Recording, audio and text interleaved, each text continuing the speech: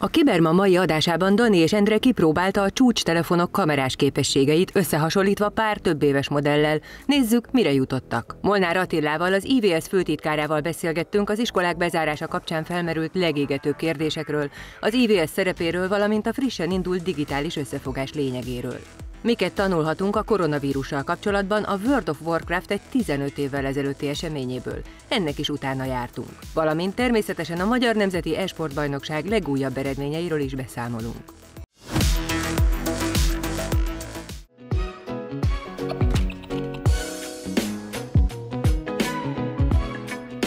Volt adnak ki néha Missy 10 Nem, soha nem volt ilyen telefonom. Képzeld el, hogy ez a mai napig egyébként tökéletesen működik, és hogyha egy ilyen SIM-kártya adapterre berakod a mai kártyát, akkor még mindig működik a mai hálózatokon.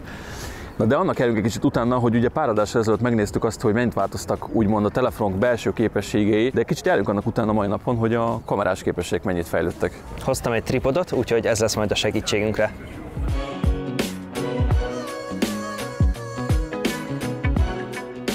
A mai tesztben én fogom erősíteni az androidos vonalat, kettő készülék van nálam, az egyik az egy 2016-os Lenovo Vibe K5 nevű készülék. Ebben, hogy látjátok, mindössze egyetlen egy kamera található, ez 13 megapixeles. 2 giga RAM van a telefonban, ami a memóriát illeti, valamint egy Snapdragon 616-os processzor dolgozik benne, és 1080p-ben tud HD videókat rögzíteni, ezt félre is tesszük. Na de ami az igazi nagy wow, az a Galaxy S20 Ultra 5G. Ahogy látjátok, ebben már négy kamera is dolgozik, dolgozik, és ami a legmegdöbbentőbb az az, hogy 100-szoros zoomra is képes a legújabb 108 megapixeles szenzor benne. Ezen kívül van még benne egy 48 megapixeles telefotó, illetve egy 12 megapixeles ultralátószögű lencse, ezzel tök jó képeket lehet csinálni, mindjárt ki is fogjuk próbálni. Amúgy 12 GB RAM dolgozik a készülékben, és a legújabb Exynos 990-es processzor van benne, és ez támogatja már azt is, hogy 8K-ban tudjon videót rögzíteni a készülék. Ahogy megszokhattatok, én pedig az iOS-es vonalat fogom képviselni. Az én régi telefonom az egy 2013-ban kijött 5S, amiben mindösszesen 1 GB RAM található, az Apple saját fejlesztésű A7-es processzora és 8 megapixeles kamera van benne. Az aktuális készülékünk pedig az iPhone 11 Pro Max, amiben már három darab kamera található, ezek mind a három 12 megapixelesek, ugye széles látó, makro és normál kamera. Ebben 4 GB található, és az Apple szintén saját fejlesztésű chipje, A13 belnök névre hallgat, ez hajtja meg, és ez már 4K 60 fps videó rögzítésére is képes.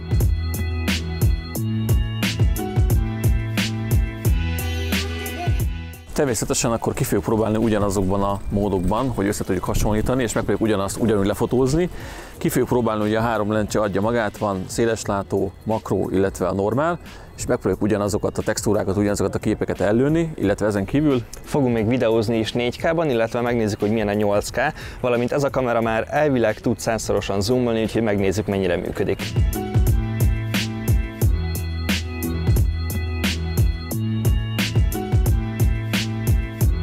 A makrofotóval fogunk kezdeni, és ezzel a készülékkel az a szerencsénk, hogy nem kell nagyon közel menni ahhoz a dologhoz, amit leszeretnénk fotózni, hiszen egy egyszerű pöccintéssel közelre tudjuk ezt hozni, hiszen tudunk váltani a lencsék között, és torzulásmentesen tud elkészülni ez a fotó, és így is teljesen éles lesz.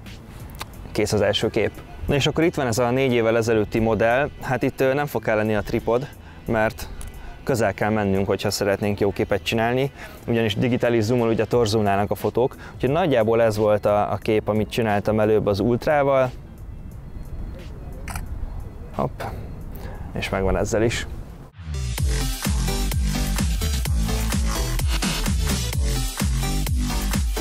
Most pedig akkor megpróbálom leutánozni Daninak a képét, egy picit bénáztunk, hogy pontosan ugyanazt tegyük le meg mindent, de nagyjából belőttük, úgyhogy én is átváltok a, a tele lencsére, és megcsinálom a képet. Mert nagyon sok beállításra már nincsen lehetőségünk ugye ezekben az időkben, tehát a fotós oldalon azt sem tudom beállítani, milyen felbontás, meg semmi. Maximum azt tudom váltani, hogy 16-9 vagy 4 3 a képarány.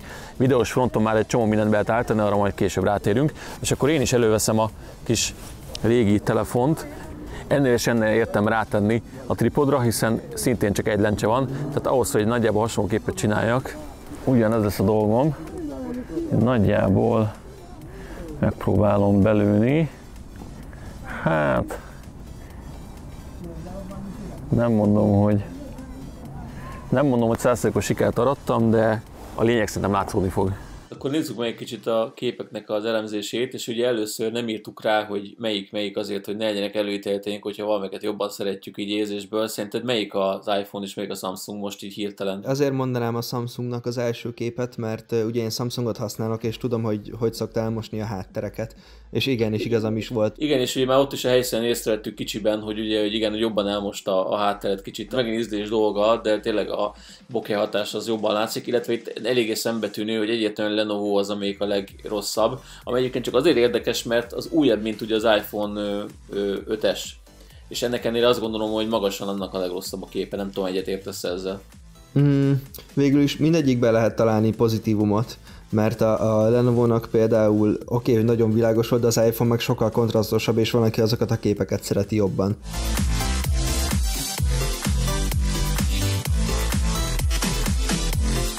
Budapest látképe tökéletes lesz a tesztre, hogy megnézzük, mit tud ez a Space Zoom.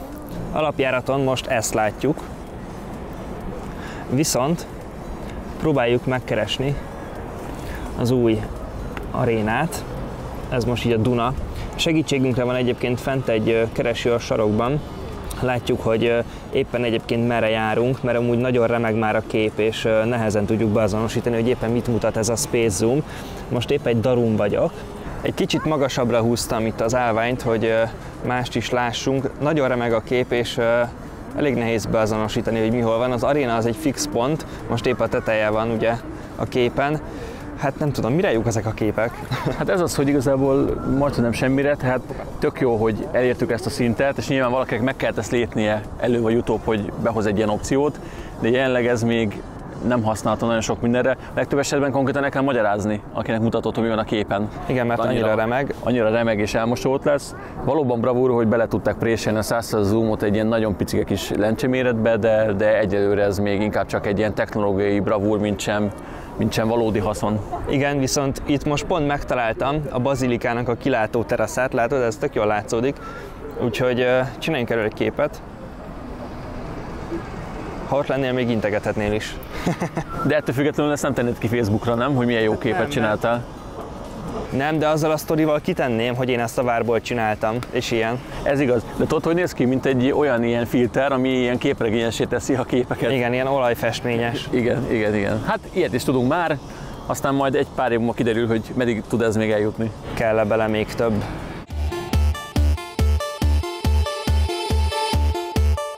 Hát ha van olyan tesztrész, amikor tudom, hogy alul fogok maradni, az mindenképp ez, de azért nézzük meg, hogy nagyjából mire vagyunk képesek. Ugye itt alapvetően ugye csak simán ugye torz, torzításmentesen ugye tudom váltogatni ugye a különböző lencséket, de ezt most hagyjuk is, hanem próbáljuk meg a bazilikán elérni azt a szintet, amit ugye az előbb láthattunk az ultrán, hogy láttuk olyan kis embereket is, bár nagyon nem lehetett őket kivenni, de azért láttuk, hogy ott vannak. És én megpróbálok, ez a maximum kérlek szépen, egy tízszeres lehetőségünk van, és hát láthatjuk, hogy mennyire tudtunk rázumolni. Nyilván ez egy picit jobban ki lehet venni már csak azért is, hiszen nagyobb teret látok be, hogy mi van rajta, de ez már eléggé digitális és eléggé csúnya ezen is. Azért megcsináltam egy képet, és hát ugye itt vagyunk most fent, amikor ugye fent próbáltunk ilyen minél totálokat venni, és hát nem igazán tudok különbséget tenni, tehát megint azt tudom mondani, hogy ízlés dolga, és hát itt van az ominózus zoomolás, ugye, amit ugye annyira kipróbáltunk. Igen, a turistákkal, akik most kivételesen nem integettek a toronyból.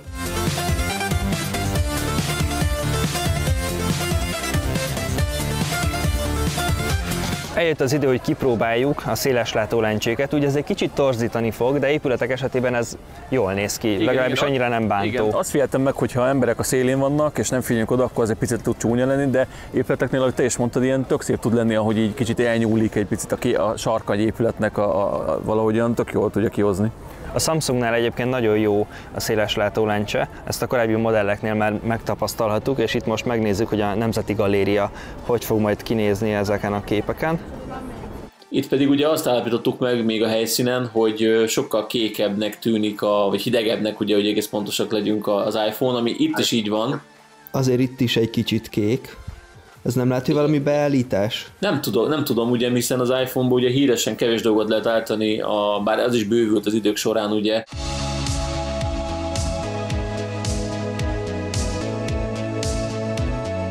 De érdekes, hogy itt meg a szobron például nem tűnik kékebbnek, ugye.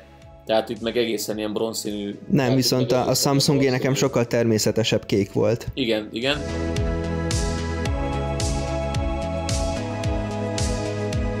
Na ugye ezt a képet ezt azért szerettem volna megcsinálni, amikor már visszafelé sétáltunk, mert uh, itt a legfontosabb azok a kis apró, nem is tudom minek hívjam ott a fán, azok kis apró kis levelek, vagy nem tudom minek hívjam.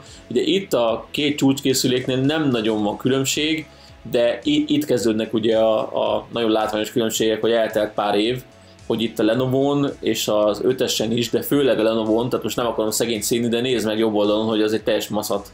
Viszont ugye bal oldalon látjuk, hogy tök jól lehet különíteni ugye a kis leveleket, meg kis szálakat. Hát igen, az egy ilyen homály volt az egész. Na és az éjszakai. Igen, igen. Na mi a vélemény? Itt, itt is abszolút ízlés dolga, mert a felhők, meg ilyenek, azok sokkal szebbek Samsungon, a sötétebb kicsit, viszont az előtér meg talán ugye a világosság miatt talán iPhone jobb, nem tudom. Igen, de kérdés, hogy a valóságban mennyire volt ugye e, világos ezeken a helyeken, szóval lehet, hogy a, az iPhone még erre ráerősít egy kicsit, és nekem inkább legyen sötétebb a kép, és az, az úgy hitelesebb tud lenni egyetemen ráerősített, tehát elég sötét volt egyébként.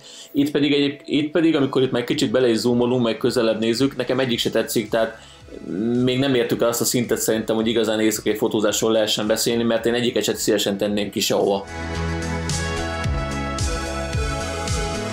Kipróbáljuk a videós funkciókat is. Először az Ultrával csinálunk egy 4K-s videót 60 kockás felvétellel.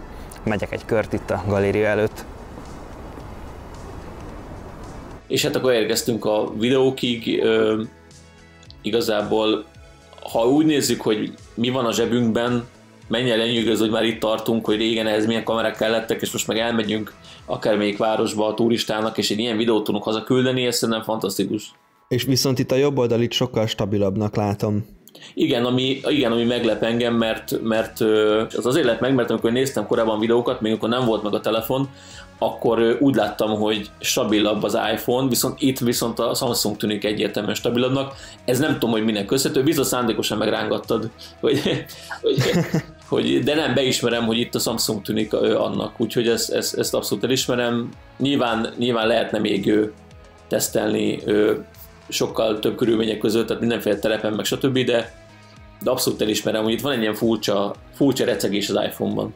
Nézzük akkor a 8K-s felvételt, ez csak 24 FPS-sel tud megvalósulni, és hatalmas lesz majd a fájlnak a mérete. 8K-ban is tudtunk ugye forgatni a Samsunggal, Erről neked mi a véleményed még így? Én még nem használnám ezt a mindennapokban, mert hatalmas tárhely kell hozzá, és nem nagyon tudnám mind megnézni ezeket a 8K-s videókat, úgyhogy ez funkciónak tök jó, meg hogy wow benne van, de még ez legalább ilyen két évén az gyanítom, mire tényleg haszna is lesz. Nagyon sokáig haladtunk már a technológiában a telefonokon, de még azért mindig nem tartunk ott, mint egy, mint egy jó igazi kamera, tehát azért nekünk, akik ugye például ugye általában a videógyártásra foglalkozunk, azért én mindig azt mondom, hogy hogy még egy pár évet szeretnék várni arra, hogy igazán elfogadjam a telefonnak a, a képességét, de nyilván attól még lenyűgöző. És hát uh, itt meg ugye a széles látót használjuk, ugye mi először azt hittük, hogy nem működik ugye a 60 FPS-sel, de aztán rájöttünk, hogy mégis.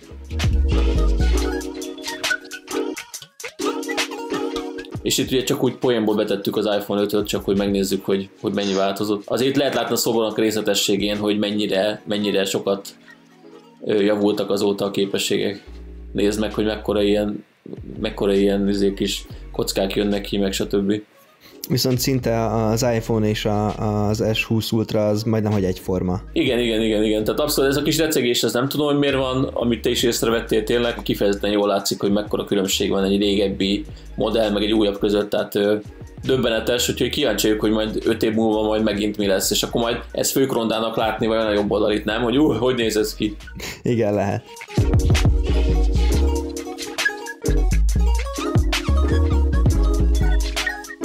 Egy dolgot bátran kijelenthetünk, hogy ezek felett már eljárt sajnos az idő, viszont a két csúcskészülék szerintem mind a kettő valamiben nagyon jó. Az ultrában nagyon sok jó lehetőség van, de én egy kicsit azt érzem, hogy nincs minden teljesen még optimalizálva, úgyhogy egy csomószor bagos a kamera szoftver, meg nem biztos, hogy ez a Space Zoom most ebben a formában így, így tökéletes, de hát majd az évek és a rutin meghozza ennek is így a jogosultságát, úgyhogy jó az irány.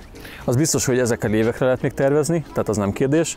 Viszont győztes nem lehet hirdetni, mert ízlés dolga, tehát hogyha megnézzük, akkor más a félegyensúly, kicsit mások bánnak a HDR-rel. Te valamikor azt volt, hogy hú, nekem ez egy egyszerűbb, én meg a másikra lehet, hogy azt mondom. Szóval igazából ezt nehéz eldönteni, de az tényes való, hogy ezek a technológiai bravúrok, amiket az útra tud, azok talán még nincsenek teljesen szépre polírozva, de meglátjuk, hogy szoftveresen mit hoz még a jövő, illetve hát aztán olyan hardveresen, illetve hát azt is várjuk, hogy majd mit lépünk erre ugye a másik fronton majd idén. Döntsétek el, hogy kinek még tetszik a legjobban.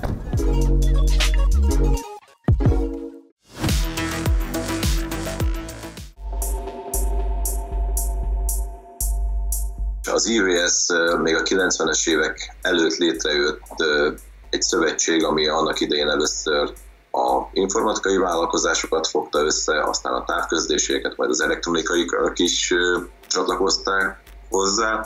Eredetileg egy érdekvédelmi szövetségként ez volt a funkciója, de ezelőtt körülbelül 5 évvel, 6 évvel egy, fölvállaltunk egy olyan szerepet is, hogy mi megpróbáljuk, mint a digitalizáció élharcosaként nem csak az érdekképviseletet vinni, hanem egyfajta ismeretterjesztést, evangelizációt, hogy a digitalizáció minél gyorsabban bekapcsolódjon a vállalatok a, a mindennapok életébe. Most ebben a helyzetben látjuk, hogy aki föl volt készülve a digitalizációra, vagy meg voltak az eszközei, az viszonylag gyorsan tudott váltani.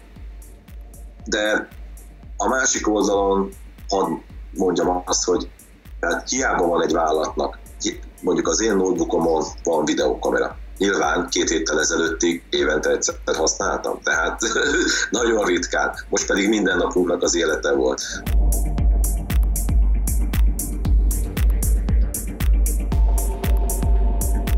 Az oktatásról nagyon fontos dolog, hogy már 2015-ben megindult a digitális oktatási stratégiának az előkészítése, fejlesztése, és a digitális oktatás, a digitális tanrend az nem az, ami most megvalósult. Most egy távoktatás van. Most digitális eszközeket használunk, de ugyanúgy tanítunk. Kompetenciáknak az elsajátítása is nagyon fontos, de ugyanakkor a, tanári oldalon is bele kell tanulnia mindenkinek ezek az eszközöknek a használatába, hogy hogyan lehet csoportmunkára rávenni a, a diákokat, vagy együtt dolgozni velük különböző projekteken. Nyilván van az a 10-15, remélem nem több százalék, akinek semmilyen nincsen, hogy Isten még az áram is problémás, őrülük is gondoskodni kell, hogy valamilyen módon eljusson hozzájuk az oktatás. Nem lehet egyik napról a másikra tízezer számmal eszközzel ellátni őket, pláne nem a jelenlegi helyzetben, de remélem, hogy a, ezek a felajánlások megindultak, és el tudnak jutni a diákokhoz. Tehát ebben tudunk segíteni, hogy gyűjtjük a felajánlásokat. Erre indult is egy közös kezdeményezés digitális összefogás néven.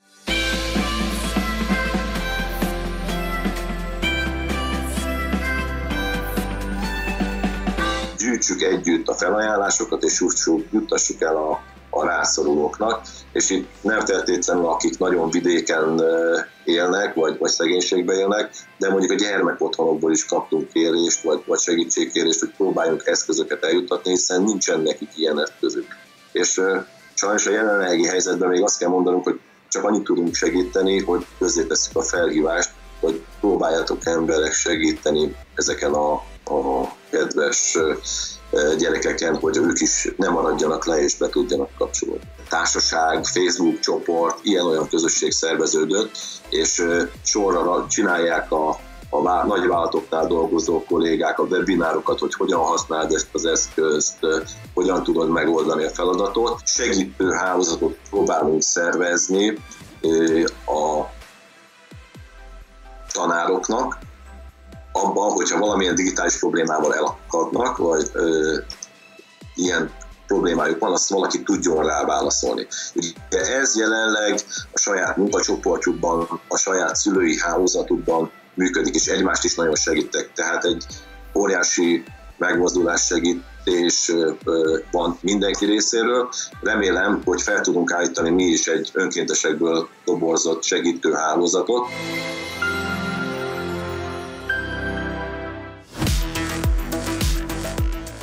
Eseménydús hét áll a játékosok mögött, ugyanis öt játékban bizonyíthattak Magyarország legjobbjai. A már ismerős címek mellett bemutatkozott a Hearthstone, a KNH MNEB egyetlen mobileszközön is futtatható e-sport játéka. Nem próbálják meg három emberre védeni kezedembét. Jön ki egy vakító. Cségó.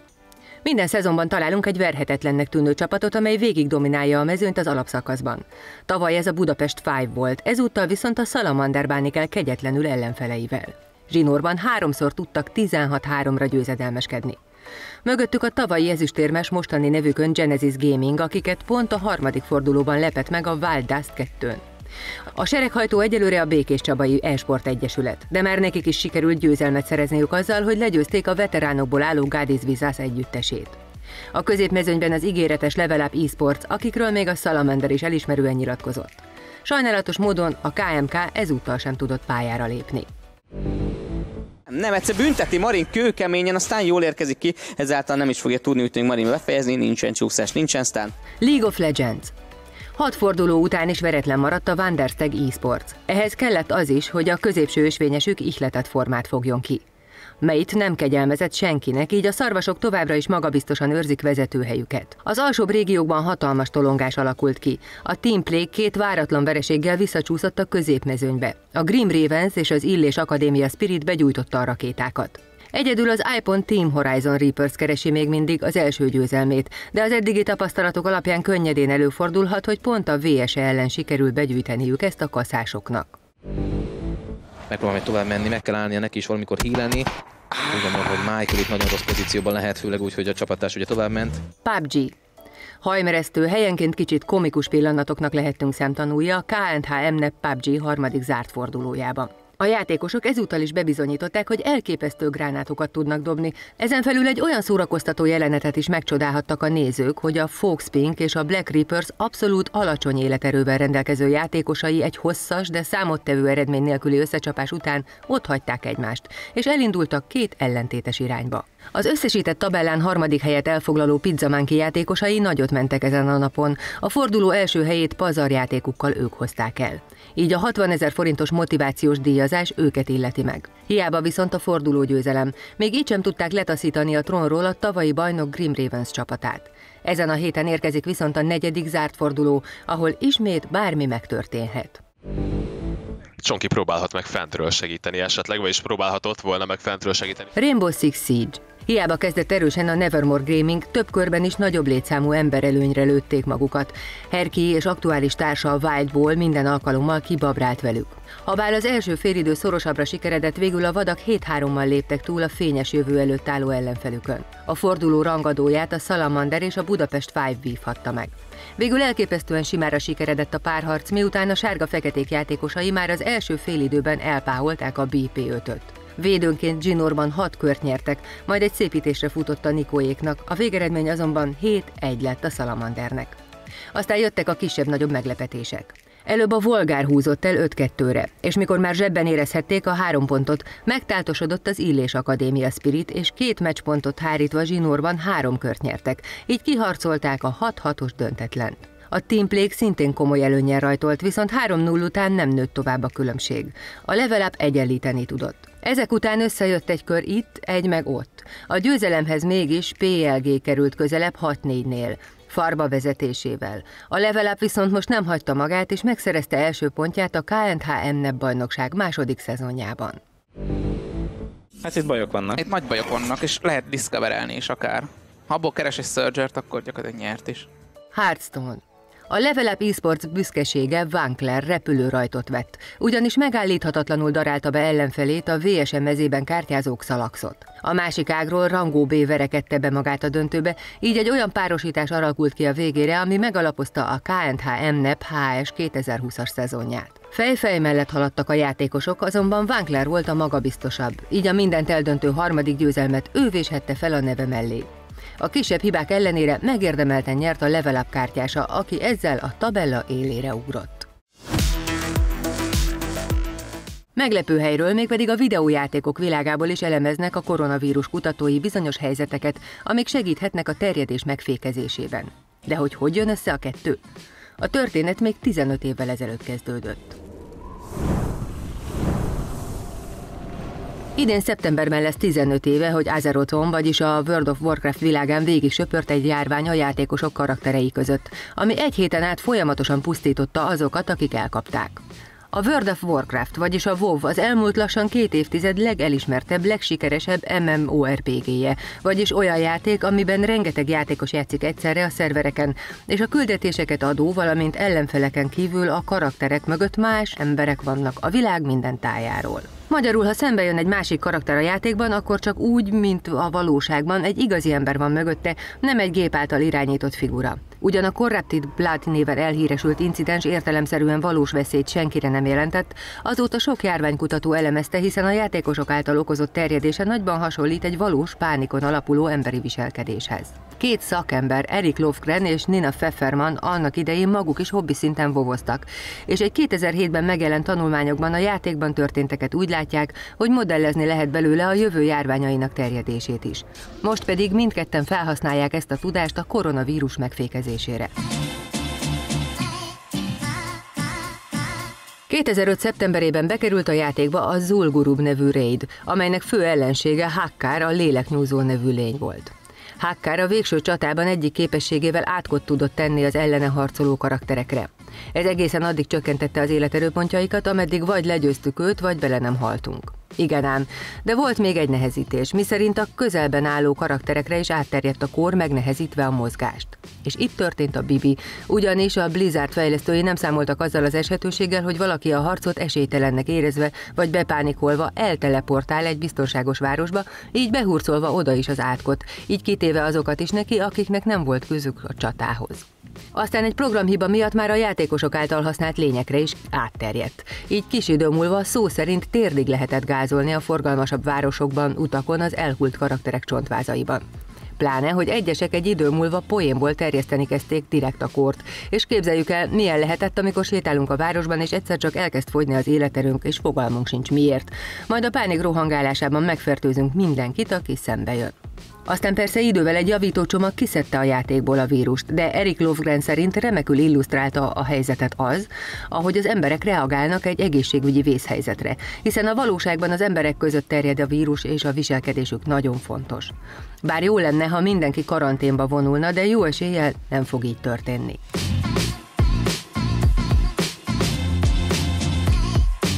Annak idején sok kritika érte amiatt, hogy sok ember szerint az, hogy a játékban szándékosan poénból terjesztették a vírust, a valóságban nem létezik, ezért nem hasznos a kutatásra.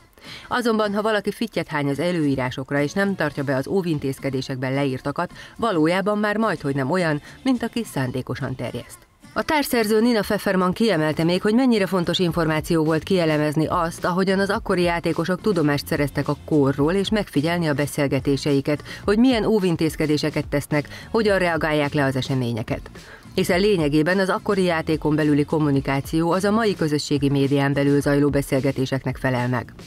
Érdekes lesz egyébként, hogy majd a nemrég indult WoW Classic, ami az eredeti WoW újrakiadása előről, vajon hogyan kezeli majd ezt, amikor újra megnyílik a régi raid? Vajon ismét fertőz a kór, és kiderül, hogyan zajlik le 15 évvel később? Vagy már javítva érkezik, és nem lehet kivinni a csata helyszínéről? Talán rövidesen választ kapunk a kérdésekre.